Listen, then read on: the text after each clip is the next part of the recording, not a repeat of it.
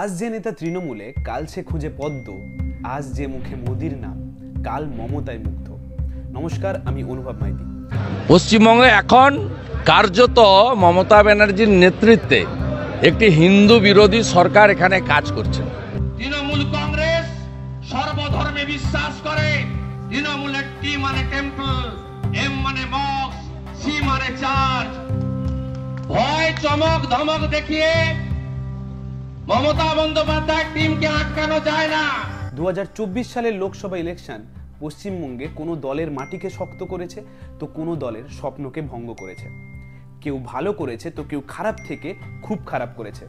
তবে একটা জিনিস যা পশ্চিমবঙ্গের মানুষ দল, মত নির্বিশেষে পশ্চিমবঙ্গের এই নেতা নেত্রীদের বুঝিয়ে দিয়েছেন যে দল বদলের রাজনীতি ওরা পশ্চিমবঙ্গে আর সহ্য করবেন না। আমি কেন বলছি তা আপনারা ভিডিও দেখলেই বুঝতে পারবেন।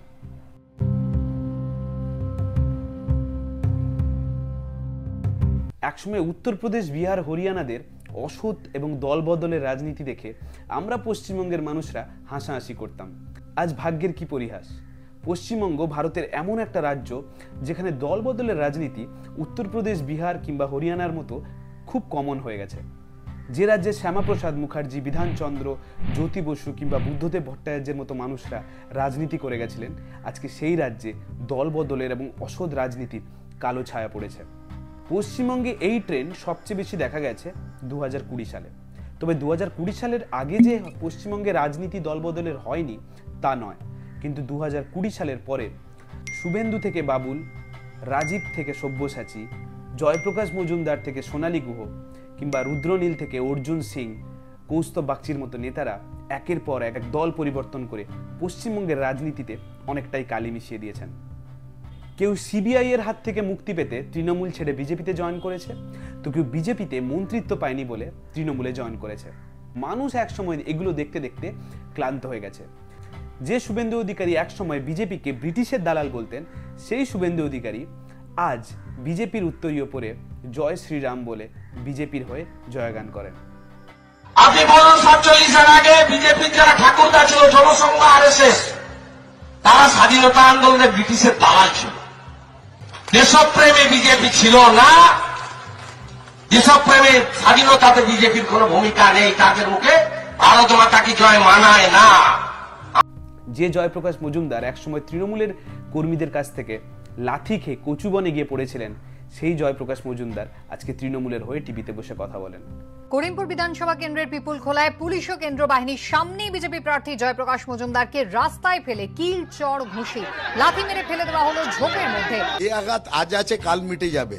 কিন্তু গণতন্ত্রের উপর যে মমতা বাহিনীর আঘাত সেটা কবে মিটবে কবে বাংলা তার থেকে মুক্তি পাবে সেটাই ঘটনা। কিন্তু গণতন্ত্রের উপর যে মমতা বাহিনীর আঘাত সেটা কবে মিটবে কবে বাংলা তার থেকে মুক্তি পাবে সেটাই ঘটনা। বাবুল সুপ্রিয়র মতো মানুষরা মন্ত্রিত্ব পায়নি প্লেইং ইলেভেলে খেলতে পারেনি বলে বিজেপি ছেড়ে চলে আসে তৃণমূলে जहाँ तक मंत्रित्व का सवाल है और बाकी सारी चीज़ें सवाल है देखिए मैं प्लेइंग इलेवन में हमेशा रहना पसंद करता हूँ তারপরে আছে রং বেরঙের নেতারা অর্জুন সিং থেকে রুদ্রনীল এরা কতবার দল চেঞ্জ করেছে তার হিসেব আমার কাছে অ্যাটলিস্ট নেই তবে এই দল বদলের রাজনীতি নিয়ে আমাদের কনস্টিটিউশনে শিডিউল টেনে অ্যান্টি ডিফেকশন ল বলে একটা আইন করা আছে যার প্যারাগ্রাফ টুতে লেখা আছে কোনো এমএলএ বা এমপি যদি তার নির্দিষ্ট কোনো পার্টি থেকে জিতে এসে অন্য দলে গিয়ে বসে, স্পিকার চাইলে তাকে কিন্তু লোকসভা কিংবা বিধানসভা থেকে এক্সপেল করে দিতে পারেন। তবে ভারতের এমন দুর্দশা, এই আইন থাকা সত্ত্বেও এই স্পিকারদের কোনো ভূমিকা আমরা দেখতে পাই না। লোকসভায় বিজেপি স্পিকার যদি তৃণমূলের কোনো এমপিকে এক্সপেল করেন, তাহলে বিধানসভায় তৃণমূলের স্পিকার কোনো বিজেপির এমএলএকে এক্সপেল করতে পারেন। ঠিক এই কারণে একে অপরের পিছনে না লেগে এরা চুপ করে বসে দল বদলের রাজনীতিকে আরও বাহবা দেন। কিন্তু নেতা নেত্রীরা যখন আইন তৈরি করেই হাত উঠিয়ে নেন, তখন বারবার ইতিহাস সাক্ষী আছে মানুষরা সামনে এগিয়ে আসে। দু হাজার চব্বিশ সালের পশ্চিমবঙ্গের লোকসভা ভোট ঠিক তারই একটা প্রতিফলন। যে নজন নেতা বিজেপি থেকে তৃণমূলের টিকিট পেয়েছেন কিংবা তৃণমূল থেকে বিজেপিতে টিকিট পেয়েছেন তার মধ্যে আটজনকে পশ্চিমবঙ্গের মানুষ রায় দিয়ে বহিষ্কার করেছেন। অর্থাৎ ক্ষমতার লোভে যারা দলবদল করতেন, মানুষের রায় তারাই আজ ক্ষমতাচ্যুত। জনগণ স্পষ্ট রায় দিয়েছে, তারা দল বদলের রাজনীতি আর কোনোভাবে মেনে নেবে না এই বাংলায়। প্রথমে আসি তৃণমূলের কথায়। তৃণমূলের বিয়াল্লিশ জন লোকসভা ক্যান্ডিডেটের মধ্যে চারজন এমন ক্যান্ডিডেট টিকিট পেয়েছেন, যারা সদ্য বা বেশ কিছুদিন আগে তৃণমূলে জয়েন করেছেন বিজেপি থেকে। তার মধ্যে একজন বিশ্বজিৎ দাস, মুকুটমণি অধিকারী, কৃষ্ণ কল্যাণী এবং সুজাতা খাঁ। অর্থাৎ পশ্চিমবঙ্গে বিয়াল্লিশটা সিটের মধ্যে যে দল উনত্রিশটা সিট জিতলো, একটা দারুণ রেজাল্ট করল, একটা অভাবনীয় রেজাল্ট করল, তারপরেও পশ্চিমবঙ্গের মানুষ কিন্তু এই দল বদলু চার নেতাকে পশ্চিমবঙ্গ থেকে প্রায় ক্ষমতাচ্যুত করে দিয়েছেন। এরপরে আসি বিজেপির কথা বিজেপির যে বিয়াল্লিশ জন ক্যান্ডিডেট ছিলেন, তার মধ্যে পাঁচজন এমন ক্যান্ডিডেট তারা তৃণমূল থেকে বিজেপিতে আসা। তার মধ্যে তাপস রায়, শিলভদ্র দত্ত, অর্জুন সিং, রথিন চক্রবর্তী এবং সৌমেন্দু অধিকারী। এর মধ্যে সৌমেন্দু অধিকারীকে বাদ দিলে বাকি চারজন খুব খারাপ ফলাফল করেছেন এবং পশ্চিমবঙ্গের মানুষের রায়, তারা কিন্তু হেরে গেছেন। অর্থাৎ দু হাজার চব্বিশ সালের ইলেকশন একটা জিনিস স্পষ্ট করেছে যে বাংলার মানুষ আর যা মেনে নিক, তারা কিন্তু দল বদলের রাজনীতিকে ভালো চোখে দেখে না। মানুষ দেখছেন যে যে নেতারা দলের খারাপ সময় দলের পাশে থাকেন না সেই নেতারা মানুষের খারাপ সময় মানুষের পাশে থাকবেন না। এটা কিন্তু পশ্চিমবঙ্গের মানুষরা উপলব্ধি করেছেন।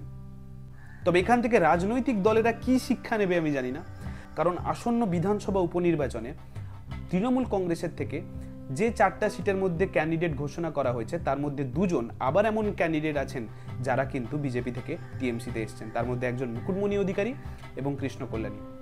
বিধানসভা নির্বাচনের রেজাল্ট বেরালেই আমরা বুঝতে পারব মানুষ এদেরকে পুরোপুরি উৎখাত করতে পেরেছে কিনা। তবে এখানে যে দলের কথা না বললেই নয়, সিপিআইএম। এরা এমন একটা দল, এখান থেকে অনেক নেতারা হয়তো অন্য দলে গেছেন, তবে লাস্ট পাঁচ সাত বছরের রেকর্ড দেখলে আমরা কিন্তু একটাও এমন কোনো উদাহরণ পাবো না, যেখানে অন্য দলের নেতারা সিপিআইএমে আসার ইচ্ছে প্রকাশ করেছে এবং সিপিআইএম তাদেরকে গ্রহণ করেছেন। এই দল বদলের রাজনীতিতে কোথাও না কোথাও সিপিআইএম অনেকটা পিছিয়ে। তবে আবার ওইটা দিয়ে শেষ করছি। রাজনৈতিক নেতারা যখন নিজের দায়িত্ব ভুলে যায়, তখন সাধারণ মানুষরা বারবার এগিয়ে আসে হাতে নিজের দায়িত্ব তুলে নিতে। ইতিহাসের সাক্ষী আছে এবং পশ্চিমবঙ্গের মানুষ দু হাজার চব্বিশ সালের লোকসভা ভোটে তারই একটা প্রতিফলন দেখিয়েছেন। ধন্যবাদ।